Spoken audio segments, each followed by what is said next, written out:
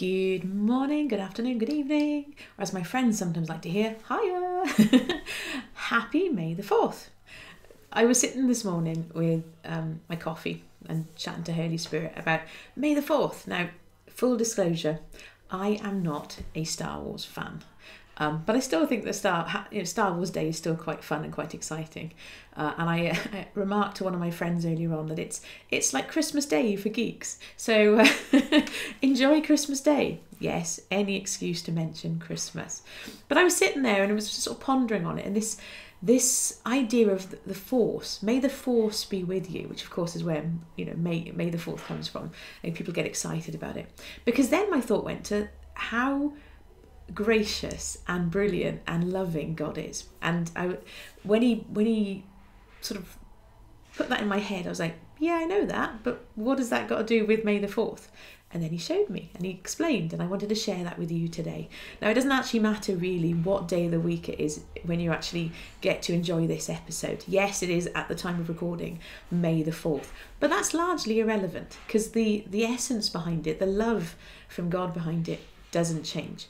But what he was reminding me of is that he is so big and so loving and so gracious that the way that our minds are wired, uh, and I'll get to this specifically what I mean about that in a moment, but the way that our minds are wired works even when we don't yet let him love us. I had to think then get that the right way around. He is always loving us. He has loved you from before you were even born uh, and will continue to love you and loves every single person on this planet who was and is and is to come and all the rest of it.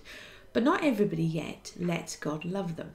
Uh, and as a side note, one of the things I find really exciting, if you have people in your life who don't yet let God love them, you can love them instead. Or not instead, as well as. Like God doesn't stop loving them, but they'll let you love them.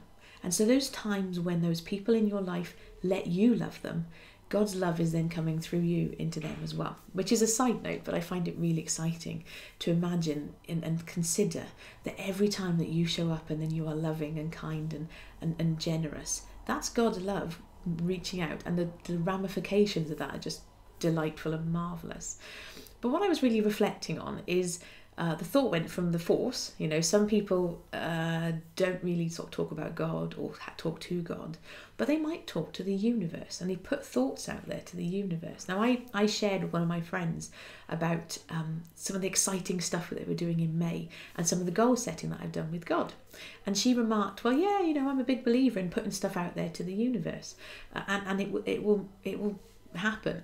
Uh, and the thought that popped in my head was, well, yeah, I can't disagree with that. Now, yes, I prefer to speak to the creator of the universe. But what's so marvelous and loving about God is actually He is loving everybody and the way that our brains are wired. Um, and so, okay, backstory slightly. So, you know, some of you may have come across the, um, the law of attraction. Uh, and it gets a bit of a, a bad rap in Christian circles because people are talking to the universe.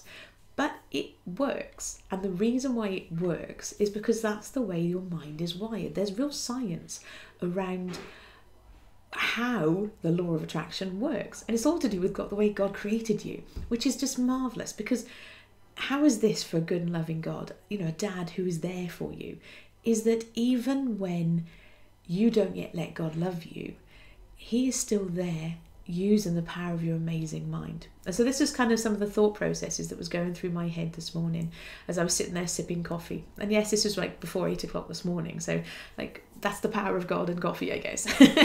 uh, but he, the reminder that he gave me, and he wanted me to share with you by way of today's heaven and El little story, is that he never stops loving.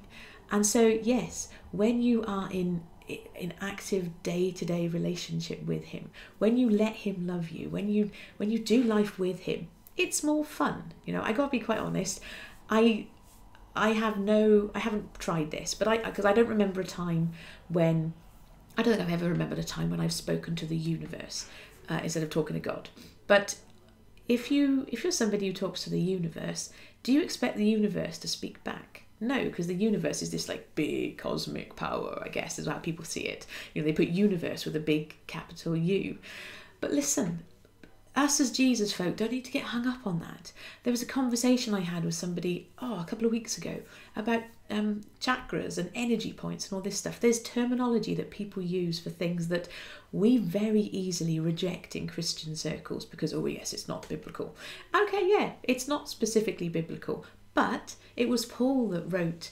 Uh, I think I'm thinking. I want to say it was Paul when he was writing to the Romans, where they had a, they had a, a I think it was an altar or a, a statue or some sort of um, shrine to the unknown God. And I would maintain that people, when they are using some of this language, which, you know, to our Jesus ears might sound a bit like New Age and, oh no, we got to reject that. But what if it's them reaching and searching? And at the same time, God is there going, yes, yes, look. And so the other side to this as well is just an encouragement and a reminder that as you're walking through life with people, ask God to help you hear and feel their heart. Ask God to help you see those people how He sees them, to love them how He loves them.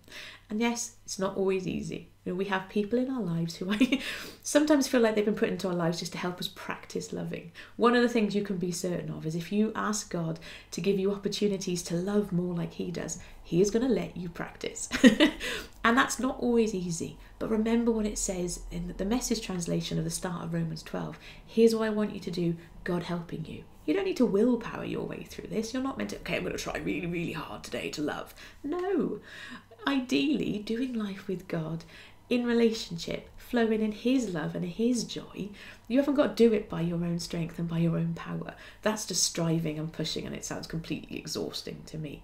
So, you know, there's a, there's a few different layers to what we have today. But the biggest piece really was that reminder that no matter where you're at today uh, in in your relationship with God. He is there with you. Like he does not ever stop. Like we said yesterday, you are never out of context for God. He there is not one moment in this day when you are not in his thoughts. He sings songs of delight about you over you. His thoughts about you are more numerous than the than the, the grains of sand on the beach. Now I live quite close to the beach. There are lots of grains of sand on there. and our beach is quite small. So it blows my mind to think that you look at these all these tiny grains of sand and God has even more thoughts concerning you than that. And I was asking God this morning, like, how is that possible?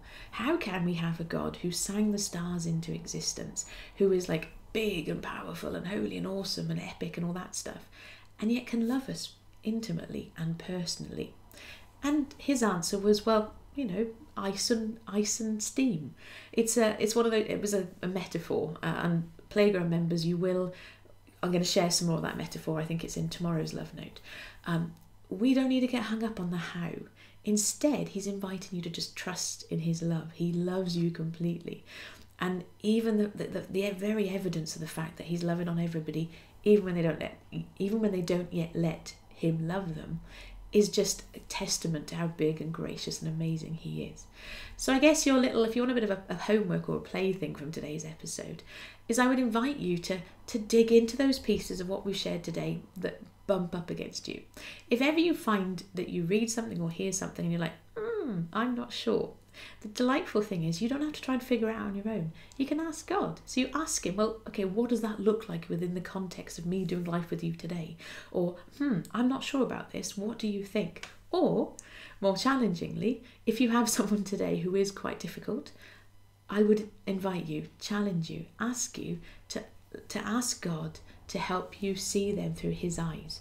And be assured, I'm not inviting you to do something I haven't done myself. There are people historically who are sometimes tricky. And I've done it. And actually, you know, God is amazing. And He has the ability, if you, if you do this with Him, to, to change how you see people. And that really is what it means, I believe, to seek first the kingdom. Let's see this world through His eyes, through His perspective. And it, we have the potential then to, to bring salvation to the nation with, with his joy, with his love. And that's really exciting to me. As a as a quick thing, a reminder to end with as well, if you enjoy these episodes, because we are keeping these short and sweet, so they can go out to all of the places. But if you enjoy these episodes, uh, I would invite you to go deeper in the Itchy Soul Playground. youier.com forward slash join is where you can do that. But in the meantime, thank you for being with me today, whether you've been joined us live Going to give a wave to those people who joined us live, or whether you're catching up on the replay later. Wishing you a delightful day. Take care. Bye bye.